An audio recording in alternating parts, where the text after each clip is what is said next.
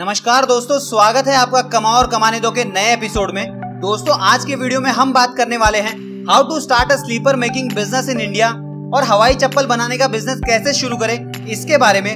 दोस्तों, इस वीडियो में हम आपको पूरी जानकारी देंगे, जैसे कि कौन सी कौन सी मशीनरी की ज़रूरत होगी कौन सा रॉ मटेरियल खरीदना होगा मशीन और रॉ मटेरियल का कॉस्ट कितना होगा, और आप इनको कहाँ से खरीद सकते हो बिज़नेस शुरू करने के लिए कितने पैसों की ज़रूरत होगी कौन से कौन से लाइसेंस लेने पड़ेंगे? इन सभी सवालों का जवाब हम इस वीडियो में देने की कोशिश करेंगे और आखिर में हम आपको उन सभी सप्लायर्स के कॉन्टेक्ट डिटेल भी देंगे, जिनसे डायरेक्ट बात करके आप मशीनरी और रॉ मटेरियल खरीद सकते हो। तो जानने के लिए वीडियो को अंत तक देखते रहिए और अभी तक आपने हमारे चैनल को सब्सक्राइब नहीं किया है तो सब्सक्राइब कर ले, क्योंकि इस चैनल पर हम लेके आते हैं business ideas share market tips और कमाने से रिलेटेड बहुत सारी जानकारी। तो अभी का अभी नीचे दिए गए सब्सक्राइब बटन पर क्लिक करें, उसके बाजू में एक बेल आइकन उसे भी दबा दें ऑल नोटिफिकेशन ज़रूर सेट कर ले हमारे वीडियोस के बारे में सबसे पहले जानने के लिए। दोस्तों स्लीपर एक ऐसी चीज़ है जिसको हर कोई यूज़ करता है। चाहे वो गाँव का हो या शहर का, छोटा हो या बड़ा, अमीर हो या गरीब। तो दोस्तों, आप खुद समझ सकते हैं कि इस बिज़नेस में कितना स्कोप है। पिछले कई सालों से लोग इस बिज़नेस को करके पैसा कमा रहे हैं और आने वाले दिनों में भी कमाने वाले हैं। दोस्तों, आपको जानकर हैरानी होगी, हर साल पूरे वर्ल्ड में जितने भी जूते चप्पल बनाए जाते हैं, उनमें से 15 परसेंट से ज़्यादा का प्रोडक्शन इंडिया में होता है। पंद्रह परसेंट का मतलब 2000 मिलियन से भी ज़्यादा जूते चप्पल।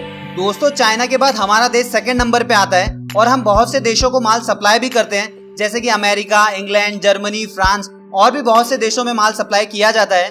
तो दोस्तों, आप भी अपने ब्रांड के स्लीपर्स बनाकर बेच सकते हो एक्सपोर्ट कर सकते हो और अच्छा खासा पैसा कमा सकते हो। तो चलिए जान लेते हैं इस बिज़नेस को शुरू करने के लिए कौन से कौन से लाइसेंस लेने पड़ेंगे और कहाँ कहाँ रजिस्ट्रेशन करवाना पड़ेगा। इंडिया में स्लीपर मेकिंग बिज़नेस शुरू करने के लिए सबसे पहले आपको अपनी कंपनी को आरओसी के साथ रजिस्टर करना पड़ेगा। आरओसी का फुल फॉर्म होता है रजिस्ट्रार ऑफ़ कंपनीज़। दोस्तों, अगर आप छोटे लेवल पे कंपनी शुरू करना चाहते हो तो हम आपको सजेस्ट करेंगे कि आप ओपीसी या एलएलपी फॉर्मेट में रजिस्ट्रेशन करवाएँ।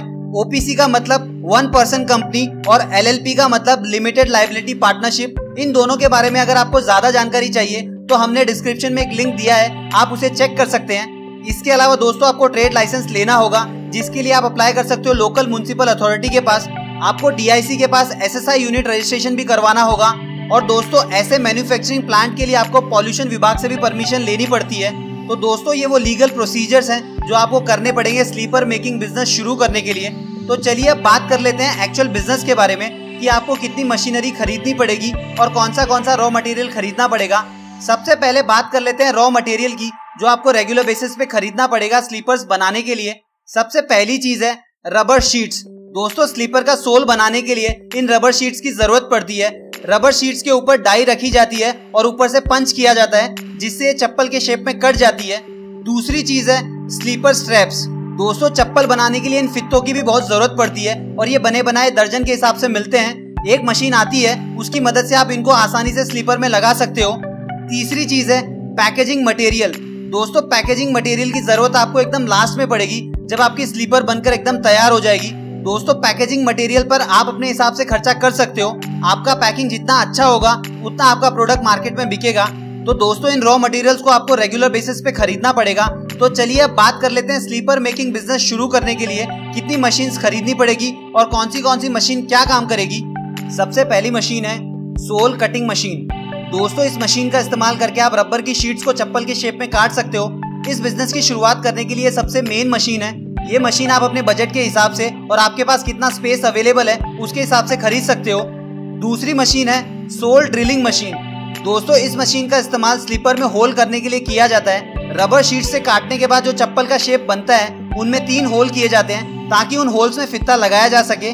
तीसरी मशीन है स्ट्रैप इंसर्शन मशीन दोस्तों, इस मशीन की मदद से आप स्लीपर के होल में आसानी से स्ट्रैप डाल सकते हो, जिसको फित्ता भी कहते हैं। दोस्तों, इस मशीन की एक खास बात है, ये बिना इलेक्ट्रिसिटी के चलती है। इस मशीन का इस्तेमाल करके मैनुअली फित्ते डालने पड़ते हैं। तो दोस्तों, ये तीन मशीन तो सबसे ज़रूरी है स्लीपर मेकिंग बिज़नेस शुरू करने के लिए। इसके अलावा दो ऑप्शनल मशीन भी है, वो आप चाहे तो खरीद सकते हैं। पहली मशीन है स्लीपर ग्राइंडिंग मशीन दोस्तों, इस मशीन का इस्तेमाल करके आप स्लीपर को प्रॉपर फिनिशिंग दे सकते हो।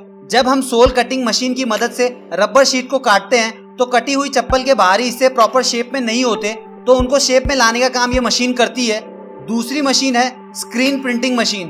दोस्तों, अगर आप कटी हुई चप्पल के ऊपर कलर करना चाहते हो या कोई डिज़ाइन प्रिंट करना चाहते हो तो आप इस मशीन का इस्तेमाल कर सकते हैं। स्लीपर के ऊपर कलर या डिज़ाइन प्रिंट करने से वो ज़्यादा अट्रैक्टिव दिखती है और उसके सेल्स ऑटोमेटिकली बढ़ जाते हैं। तो दोस्तों, ये वो पाँच मशीन है जिनको खरीद के आप स्लीपर मेकिंग बिज़नेस शुरू कर सकते हो।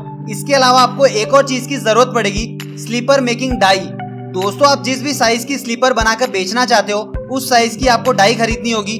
फॉर एग्ज़ाम्पल अगर आप पाँच नंबर से दस नंबर साइज़ की स्लीपर बेचना चाहते हो तो आपको छह डाई खरीदनी पड़ेगी। दोस्तों, हमें लगता है हमने वो सारी जानकारी कवर कर ली है, जिनकी ज़रूरत आपको स्लीपर बनाने के लिए होगी। तो चलिए स्लीपर बनाने का प्रोसेस जान लेते हैं कि इसे बनाया कैसे जाता है। सबसे पहले सोल कटिंग मशीन और डाई की मदद से रबर शीट को चप्पल के शेप में काटा जाता है। और चप्पल में तीन छोटे छोटे होल हो जाते हैं। इसके बाद दोस्तों कटी हुई चप्पल को प्रॉपर शेप देने के लिए स्लीपर ग्राइंडिंग मशीन का यूज़ किया जाता है, जिससे चप्पल के बाहरी हिस्से प्रॉपर शेप में आ जाते हैं। उसके बाद स्क्रीन प्रिंटिंग मशीन की मदद से कटी हुई चप्पल पर कलर किया जाता है, या फिर जैसा चाहे वैसा डिज़ाइन बनाया जाता है और रात भर सूखने के लिए छोड़ दिया जाता है। चप्पल सूख जाने के बाद सोल ड्रिलिंग मशीन से छोटे छोटे होल्स को बड़ा किया जाता है, ताकि उनमें स्ट्रेप्स लगाया जा सके। उसके बाद स्ट्रेप्स इंसर्शन मशीन की मदद से मैनुअली फित्तों को चप्पल में लगाया जाता है और चप्पल पूरी तरह से बनकर तैयार हो जाती है। फाइनली कार्टन में डालकर बेचने के लिए भेज दिया जाता है। तो दोस्तों, आप खुद समझ गए होंगे, स्लीपर बनाना कितना आसान है। तो चलिए अब जान लेते हैं, ये सारी मशीन कितने की आएगी और रॉ मटेरियल का कॉस्ट कितना पड़ेगा। दोस्तों सोल कटिंग मशीन का प्राइस लगभग बीस हज़ार रूपए से शुरू होता है और 10 से 12 लाख रुपए तक जाता है। आप अपने बजट के हिसाब से खरीद सकते हैं। मशीन जितनी महँगी होगी, उसमें उतने ज़्यादा फ़ंक्शंस होंगे। और दोस्तों सोल ड्रिलिंग मशीन आपको 10 से बारह हज़ार रूपए में आसानी से मिल जाएगी। इसके बाद स्ट्रैप इंसर्शन मशीन का कॉस्ट आपको लगभग आठ से दस हज़ार रूपए पड़ेगा। स्लीपर ग्राइंडिंग मशीन भी आपको आठ से दस हज़ार रूपए में मिल जाएगी। और दोस्तों मैनुअल स्क्रीन प्रिंटिंग मशीन की मार्केट में प्राइस है लगभग पंद्रह से बीस हज़ार रूपए। तो दोस्तों, हम मान के चलते हैं कि सोल कटिंग मशीन आपने चालीस से पैतालीस हज़ार की खरीदी। तो सारी मशीन आपको एक लाख रूपए के अंदर मिल जाएगी। दोस्तों, हो सकता है अलग अलग सप्लायर का अलग अलग प्राइस हो, फिर भी आपको सारी मशीनरी एक लाख रुपए तक मिल जाएगी। इसके अलावा दोस्तों स्लीपर बनाने के लिए आप जो डाई खरीदेंगे, उसका प्राइस होगा लगभग 700 से हज़ार रुपए तक। तो सभी साइज़ की डाई आपको दस हज़ार रुपए में आसानी से मिल जाएगी। तो दोस्तों, आपको एक से सवा लाख रुपए का वन टाइम इन्वेस्टमेंट करना पड़ेगा। अब बात कर लेते हैं रॉ मटेरियल के बारे में। दोस्तों, सबसे पहले आपको खरीदनी होगी रबर शीट्स इनकी प्राइस दो सौ रूपए से लेके हज़ार रूपए पर शीट होती है। जितनी महँगी शीट होगी उतनी रबर की क्वालिटी अच्छी होगी तो आप मार्केट में जो क्वालिटी की स्लीपर बनाकर बेचना चाहते हैं, उसके हिसाब से रबर की शीट खरीद सकते हो। दोस्तों, एक शीट में आप आराम से पंद्रह जोड़ी स्लीपर बना सकते हो। मतलब पंद्रह से बीस रूपए में एक जोड़ी स्लीपर का सोल तैयार हो जाएगा। उसके बाद आपको ज़रूरत होगी स्लीपर स्ट्रेप्स की। इनकी प्राइस मार्केट में साठ रूपए से लेके दो सौ रूपए दर्जन होती है। मतलब साठ रूपए में आपको बारह जोड़ियाँ मिलेगी। एक जोड़ी की प्राइस आपको पड़ेगी पाँच रूपए। तो दोस्तों आप देख सकते हैं, पंद्रह से बीस रूपए में सोल तैयार हो गया, पाँच से दस रूपए में आपको फित्ता मिल जाएगा तो चप्पल की प्राइस होगी तीस रूपए के आसपास। अगर आप स्लीपर पे कोई भी डिज़ाइन बनाना चाहते हो तो प्रिंटिंग कॉस्ट आएगा मैक्सिमम दो से तीन रूपया, और स्लीपर तैयार होने के बाद आपको बॉक्स में पैकिंग करके भेजना होगा, उसका कॉस्ट भी दो से तीन रूपए आएगा। तो दोस्तों आप यूँ समझ लीजिए कि एक जोड़ी चप्पल बनाने में आपका खर्चा आएगा पैंतीस से चालीस रूपए, और आप इस चप्पल को मार्केट में रिटेलर्स को आसानी से पचास से पचपन रूपए में बेच सकते हो। अगर आप ऐसा करते हो तो आपको हर जोड़ी पे कम से कम दस रूपए का फ़ायदा तो हो ही जाएगा। दिन भर में आपकी कंपनी जितनी भी चप्पल बनाएगी, आपको उतना ही फ़ायदा होगा। फॉर एग्ज़ाम्पल अगर एक मिनट में एक जोड़ी चप्पल बनती है तो एक घंटे में कम से कम पचास जोड़ी चप्पल तो आसानी से बन जाएगी। अगर आपकी मशीन दिन में बारह घंटे चलती है तो बारह इंटू फिफ्टी होता है छह सौ। तो आपकी कंपनी एक दिन में आसानी से 600 जोड़ी चप्पल बना सकती है। जैसे कि हमने फाइंड आउट किया था, एक जोड़ी पे दस रुपए का फ़ायदा होता है। तो 600 सौ इंटू दस होता है 6000 तो दोस्तों, आप खुद देख सकते हैं कितने मुनाफे वाला बिज़नेस है और आप आसानी से पाँच से छह हज़ार रूपए दिन का कमा सकते हो। एक दिन का छह हज़ार रूपया मतलब महीने का एक लाख अस्सी हज़ार रूपया।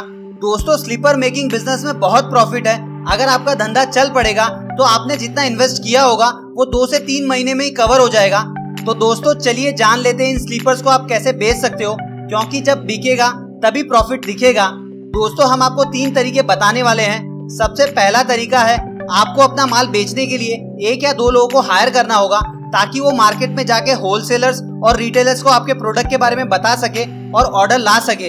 दोस्तों, ये पुराना मेथड है, पर काम करता है। आप देखेंगे इस मेथड से आपको एक महीने के अंदर ही ऑर्डर्स आना चालू हो जाएँगे। दूसरा तरीका है, आप अपनी कंपनी को इंडिया मार्ट के साथ रजिस्टर कर सकते हैं। वहाँ से आपको बल्क में ऑर्डर्स मिलना शुरू हो जाएँगे। इसके साथ साथ आप अमेजोन और फ्लिपकार्ट के साथ रजिस्टर करके भी अपना माल बेच सकते हैं। अमेजोन और फ्लिपकार्ट से सेलर्स को बहुत अच्छा सपोर्ट मिलता है। आपको वहाँ से भी थोड़े थोड़े ऑर्डर्स आने चालू हो जाएँगे। तीसरा तरीका है, आप अपनी वेबसाइट बनवा लीजिए और अपने सारे प्रोडक्ट्स को वेबसाइट पर लिस्ट कीजिए। उसके बाद अपने प्रोडक्ट और वेबसाइट की डिजिटली मार्केटिंग करवाइए। मतलब फेसबुक और गूगल पर एडवर्टाइजमेंट करवाइए।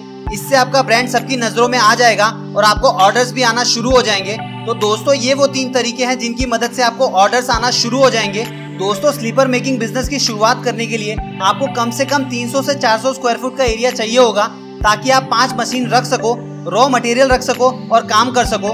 दोस्तों, हमें लगता है हमने सभी सवालों का जवाब दे दिया है। अब हम आपको सप्लायर्स के कॉन्टेक्ट डिटेल दे देते हैं, ताकि आप उनसे डायरेक्ट कॉन्टेक्ट करके बात कर सको और स्लीपर मेकिंग बिज़नेस की शुरुआत कर सको। दोस्तों सप्लायर्स के डिटेल आप स्क्रीन पर देख पा रहे हो। आप इन्हें नोट कर लीजिए और इनसे कॉन्टेक्ट कर सकते हैं। हमें उम्मीद है दोस्तों आपको ये वीडियो ज़रूर अच्छा लगा होगा। अगर अच्छा लगा तो वीडियो को लाइक कीजिए और आपके मन में कोई भी सवाल है तो कमेंट बॉक्स में लिखकर पूछिए। हम उसका जवाब ज़रूर देंगे। और इस वीडियो को उन सभी लोगों के साथ शेयर कीजिए जो खुद का बिज़नेस शुरू करना चाहते हैं। और अभी तक आपने हमारे चैनल को सब्सक्राइब नहीं किया है तो सब्सक्राइब कर लीजिए, क्योंकि इस चैनल पर हम लेके आते हैं business ideas, share market tips और कमाने से रिलेटेड बहुत सारी जानकारी। तो दोस्तों, अभी का भी सब्सक्राइब कर ले, उसके बाजू में एक बेल आइकन उसे भी दबा दे। ऑल नोटिफिकेशन ज़रूर सेट कर ले ताकि आपको हमारे वीडियोस के बारे में सबसे पहले पता चल जाए। तो मिलते हैं दोस्तों अगले वीडियो में कुछ नए कमाने के तरीकों के साथ।